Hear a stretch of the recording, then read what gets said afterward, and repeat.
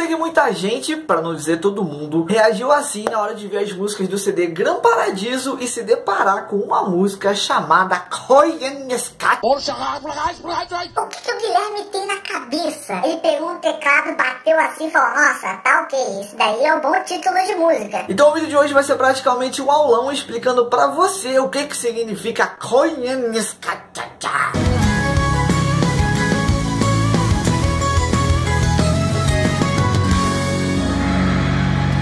Hello meus caras e queridas, e aí tudo bom? Antes de começar o vídeo, eu queria fazer aqui um pedido muito rápido para vocês. Nós entramos de cabeça para ajudar a Ana Carolina Setúbal. Para quem não conhece, ela tem câncer de fígado e tá aí precisando assim urgentemente de doações para ajudar no tratamento. Sabemos que o nosso serviço público é assim, com todo respeito, uma sonora bosta. Então a gente entrou de cabeça aí junto com o nosso grande irmão que a vida nos deu, que é o André Litt, vocalista da banda ID2. Vocês devem conhecer. Quem puder ajudar com qualquer qualquer quantia, gente. Seja da que você o que se tiver no seu bolso, 10 reais no seu bolso, ela vai ser assim, uma coisa sensacional. O Instagram dela vai estar aparecendo aqui na tela, não, não sei aonde exatamente, mas você vai lá no Instagram dela, segue, lá tem todas as informações, é, coisa de informação de banco, tudo exatamente certo para você poder colaborar com ela, seja ou com, com, com, com dinheiro, né, obviamente, ou então com remédios que ela precisa, tá legal? É sempre muito bom poder ajudar alguém de verdade, né? Depois desse recadinho rápido, eu disse que ia ser muito rápido. Vamos lá. Para falar de Coinha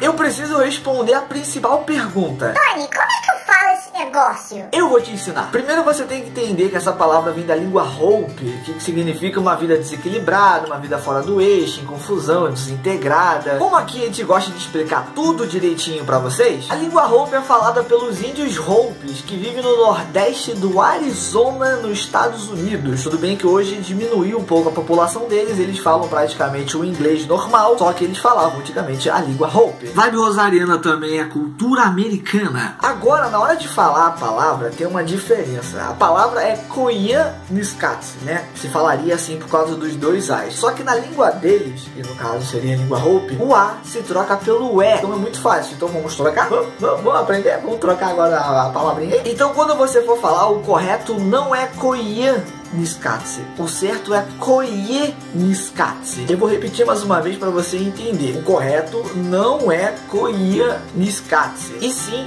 Koye Niskatse. Koye, que tem um i aí no meio, entendeu? Então simples, prático, fácil, tá aí. Primeira coisa gente já desmistificou é Koye Niskatse, a forma que se fala. Eu não duvido muito que o Guilherme tenha se inspirado no filme Koye Niskatse de 1982. Uma curiosidade sobre esse filme é que assim, ele não tem nenhum diálogo. É isso mesmo que você ouviu, não tem nenhum diálogo. Agora pensa comigo, filme com Iniscatse de 1982, onde não tem nenhum diálogo e casos de família, ambos a 80 km por hora. Qual é mais chato? Agora vai deixar que o próprio Guilherme fale, né, da sua inspiração na hora de compor com Iniscatse.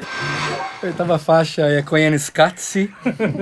Koyaanisqatsi é uma palavra da tribo hop americana que significa vida em desequilíbrio, vida desequilibrada. Era uma, uma tribo é, americana que ela era ela vivia regrada a testosterona e, e, drogas e cocaína e isso fazia com que eles tinham dias muito complicados né? é, a gente tem o costume de olhar para as coisas e, e, e, dizer que é tua né isso principalmente quando as pessoas que te cercam né então não significa que você gosta de algo ou você gosta de alguém que esse algo é seu ou essa pessoa é sua né é, antes de a gente tomar qualquer decisão na nossa vida, a gente sempre tem que se perguntar: quero estar? Posso estar?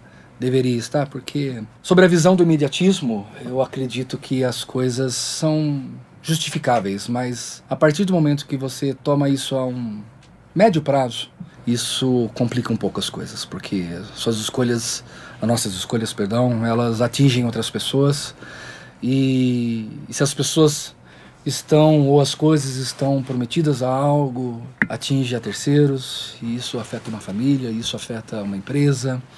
Então, a gente vê que as coisas andam muito sem consequência. Sempre foram, mas andam muito sem consequência e nós temos que nos perguntar algumas coisas às vezes. Aliás, esse projeto foi muito bacana do Deezer, né? Colocar aí o Rosa de Saron para explicar faixa a faixa do novo disco, né? Do Gran Paradiso. Se você nunca ouviu e quer ouvir aí todas as explicações do novo CD da banda, eu vou deixar o link aqui embaixo. Você só vai aqui, clica no link e pronto. E se você gostou do vídeo de hoje, eu peço para você deixar logo o seu like, que ajuda demais o vídeo a ser recomendado para mais pessoas ainda. Eu vou pedir para você também se inscrever no canal da Vibe Rosariana, ativar o sininho para toda vez quando tiver vídeo novo você já ficar ligadinho, não é verdade? Porque parece que mesmo assim o YouTube insiste em não levar o vídeo pra quem é né, inscrito no canal. Infelizmente, mas o que, que, a gente pode fazer, não é verdade? Aproveita também e se inscreve nas redes sociais da Vibe, cara. É, vai estar aparecendo aqui na tela nosso Facebook, nosso Twitter, nosso Instagram também. Então se inscreve aí, a gente posta muita coisa bacana relacionada aí a Rosa de Saron. E é isso, muito rock, velho poesia na sua vida. E lembre-se sempre que nós estamos juntos aqui.